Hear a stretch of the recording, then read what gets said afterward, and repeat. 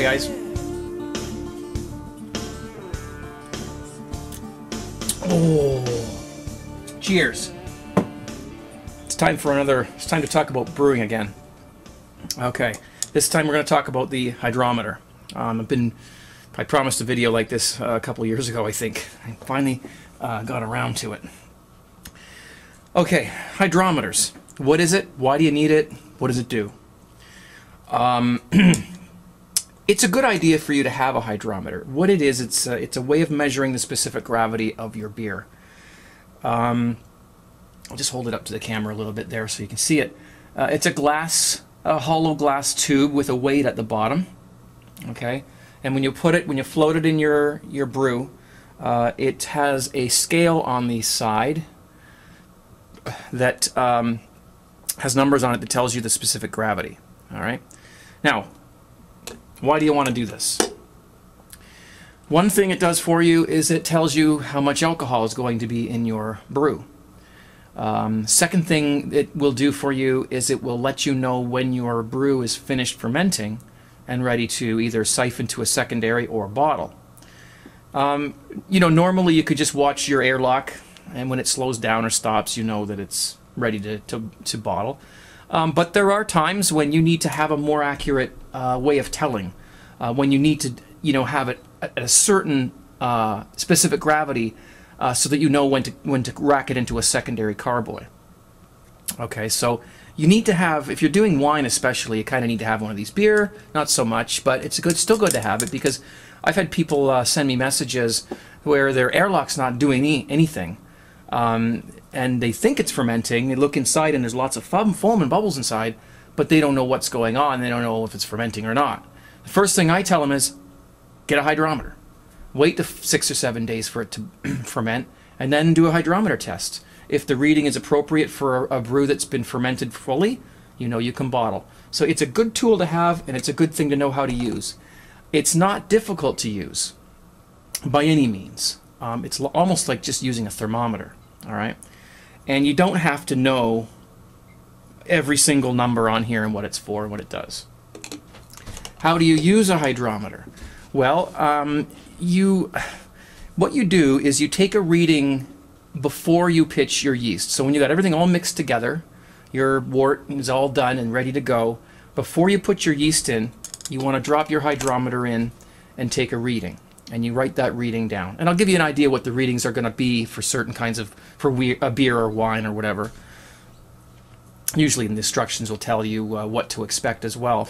So you'll have that reading written down, and then when you when you think your fermentation is finished, you'll take you'll put it in and take another reading, and you can compare the two, and you'll know okay, yep, that's the appropriate reading for a, finished uh, brew. Now I can go ahead and bottle it or or do whatever you have to do with it. Okay. So that's why you do it, and that's how you use it and when you use it. Um, if you're not sure whether your brew is fermenting for some reason, like maybe your airlock has a crack in it, or um, you uh, your your your fermenter is not properly sealed for some reason, your airlock's not active, you'll need to use one of these to check to see if your fermentation is actually working. Okay. Now, um, hmm, noisy pipes. anyway, so here, how do you use it? Right. Well, I've told you when to use it, and uh, we're just going to take a, a, look at uh, a close look at it right now. I've got uh, some uh, some pictures here to to better show you uh, what I'm talking about. Um, here is the scale that you're going to use to measure the specific gravity. Now, you might say to yourself, "What is specific gravity? What, why do we, you know, what, what, how does this work? Why is it different at the beginning of fermentation than it is at the end of fermentation?" Well, what you're basically doing when you drop this in your beer or your wine is you're measuring the the amount of sugar or the amount of dissolvable uh, substances in your in your beer or wine. So to, just to take an example, um, if you take a boat, like a sailboat, and you put it in um, uh, you put it in the uh, Clearwater Lake, and you wait for the water to settle down, and you draw a line around where the water sits on the side of the boat take that same boat, drop it into the ocean where you've got salt water now, and do the same thing, and you're going to find that the lines are in different locations. The boat will float higher in the salt water than it will in the non-salt water. You see? So it's all about buoyancy. And that's how this thing works, because you've got a weight in the bottom that pulls it down, but you've got a, an air cavity here that keeps it afloat. So it's just like a boat, right? So I hope that's not uh, going to embarrass me in the future, but that's the best analogy, that's the best comparison I could come up with. So that scale there is the one that you're going to use to test your specific gravity. When you um, make beer, your specific gravity reading before you pitch your yeast will probably be somewhere around uh, uh, 1.040. Okay? Water has a specific gravity of 1.000. So it's based on pure water. All right? Uh, 1.000 is water, and as you add your malt extract, your sugars, your substances, you're increasing the specific gravity, and you're going to end up somewhere around 1.040 or 1040. We don't always say the point. Um, if you're making wine, wine has more sugars in the beginning because you're going to have more alcohol. So wine usually ends up somewhere around anywhere between 1.070, 1.090, somewhere in that range. It depends on the type of wine you're making and how strong it's going to be. And if you're making some sort of spirits, you're even going to end up with higher readings. I'm not sure what they're going to be. Um, so this is the beginning of, of, of, the, of the procedure before you put your yeast in. At the end of the procedure of whatever you're making, whether it's beer or wine or, or anything else, you're going to have more, you're going to have a more reading that's more close to 1.000.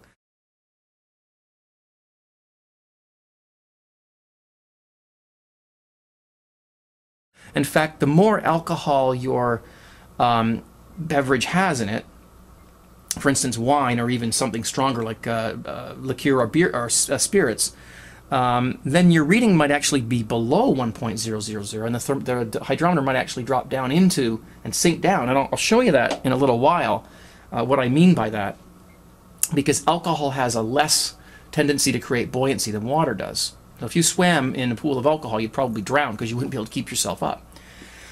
Now, let's see how you do it. All right, I've got some water here. I put some food coloring in it to try and simulate the color of beer. I know I'm a bit of a fuddy-duddy. All right, well, let's, okay, the best way, now, there's two things you can do. You can drop this straight into your, into your brew, and when you do that, you give it a little twirl so that it, it just lodges any bubbles that might be at the bottom here that might push it up and give you a false reading. Or you can take some of your brew, whether through a wine thief or some other method, just make sure everything's sanitized, and you can fill it into this thing. This is wet inside, that's why it looks kind of foggy. I washed it just before I, just before the video. By the way, this beer that I'm drinking now is the picture that you saw at the beginning of the video. That was this beer, and it tastes great. Coopers Real Ale is what I'm drinking right now. Homebrew. Oh, it's so good if you're going to do it in one of these, best thing for you to do is put the hydrometer in first and then pour in your in your your, your beverage. Because then you'll know how high to fill it. Because you just let you say you fill it to here then you drop this thing and it's going to overflow. You won't know which how to much to put in. So put this in first and then pour in your beer. Let's see how close I got to the color of wort. That's kind of fluorescent but anyway. So as soon as it stops starts to float right there. You stop. Okay? So, what you do, and you can see how low that is. Now I've got another camera here that I'm going to use to uh, let you see close up. I hope. There. Okay, so there it's, it's sitting. You can turn the, the tube around and just get so you can see. I can't even see. Yeah, there's a, there's a, there's a, there we go, 1.000, and it's sitting right at 1.000. Now, but, you know, uh, this is water, so that's what it's supposed to be. There are a couple of things that um, can affect the reading. Let's just let's just talk about that for a second. One of them is temperature. Um, if the water is cooler or warmer, it'll affect your reading. You know what? It's very, very little the effect of temperature on your specific gravity reading, unless you're making rocket fuel or something, it really, it's uh, not that crucial. I mean, if you want to be really, really accurate, you can get calculators or software that will help you calculate what the specific gra gravity reading really is. taking in, in taking into consideration the temperature of your of your wort. Um, but I, there's other things that, that are more concerning, I think, than that because that's minor. The one thing that is important when you're using your your hydrometer is how where you read where you read it. In other words, you know, water has a tendency to climb up on the sides of things when when it's against them. So with a hydrometer, you kind of end up with something like this. And so where do you read it? You know, do you read it up here? Or do you read it down here? Well, this is the level of the water. This is the level of the brew. This is just the reaction that it has when it comes up against things. That means nothing. Just because it decides it's going to hug up against your hydrometer doesn't mean that you're going to read it here. You need to be reading it at the bottom, the base of this little phenomenon here, always. I learned that in science class back in high school, and I think it's probably the only thing I remember from that time. okay, so you saw the reading there. It's 1.000. I'm going to take that out of the way, and we're going to grab some sugar. So this would be what your reading would be more or less when your fermentation is done. If you're making beer, it might read 1.008, and that's fine. That's your target for when you're making beer. That's what you want to see right before you bottle your beer. Okay, so 1.040 at the beginning and 1.008 at the end. Or, you know, 1040 at the beginning and 1008 at the end, however you want to say it just trying to go through the basics at first here. Then I'll go through. We'll play around a little bit at the end. That way, if you get, you can turn it off if you if you're not interested in that other stuff. Uh, what do we got here? Okay, let's let's um, take the hydrometer out, and let's put in um, I don't know, a bunch of sugar.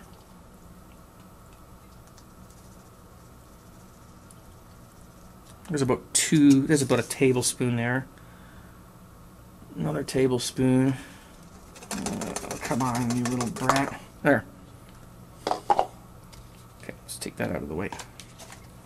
Only me, I'll spill that all over the place. Just going to give it a little shake.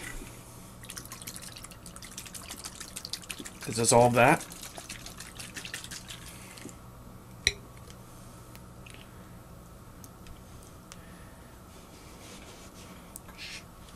Okay, take the thermometer, uh, the hydrometer.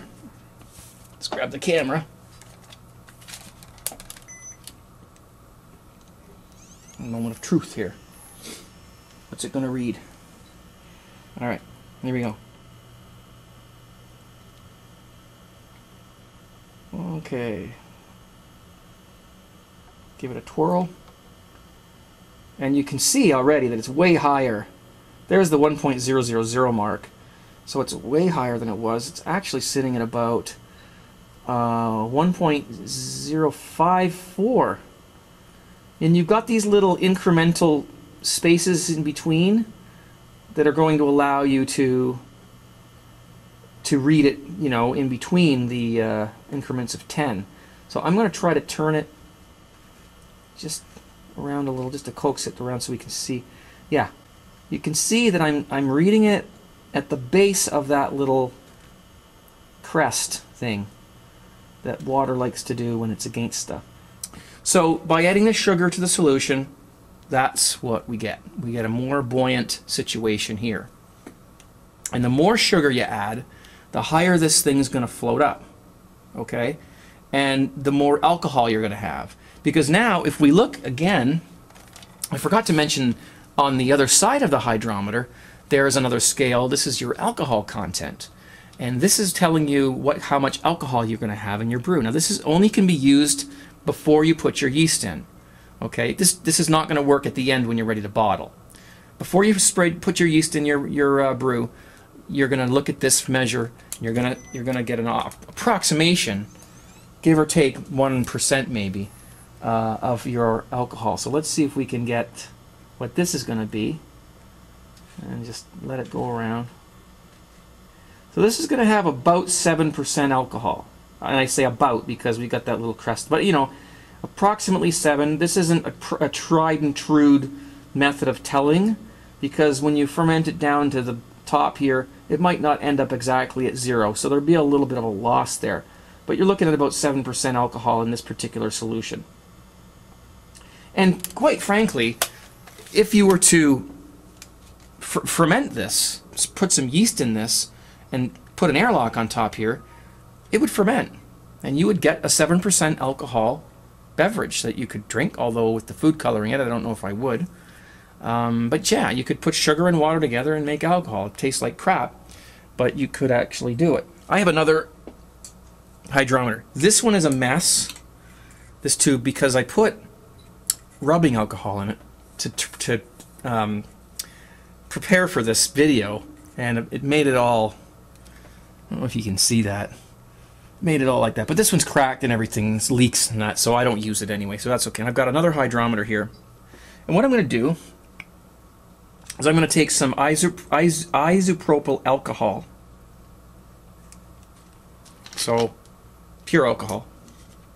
And you're not going to drink this, of course. And we're going to we're going to pour it in.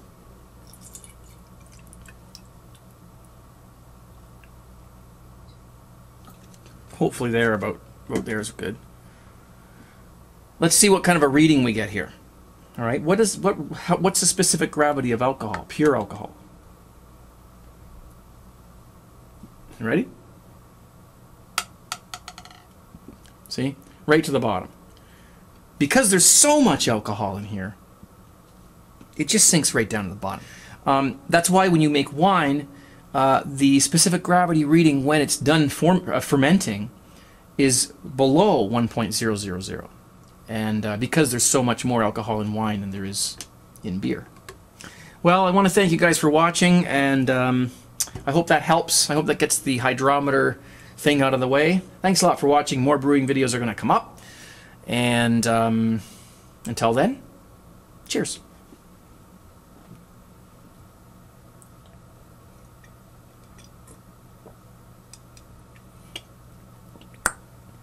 Oh. See ya. Actually, this is the second attempt at this video. Uh, I recorded it last night too, and I wasn't happy with it. But at the end of the video, I got up to turn the camera off, and uh, something happened.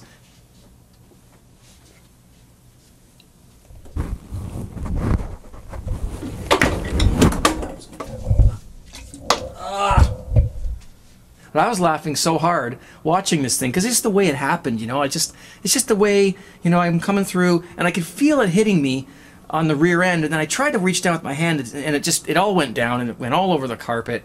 When I was actually playing it back, I still had the camera set up here. I was laughing so hard, I just turned on the camera and I just recorded a bit of it.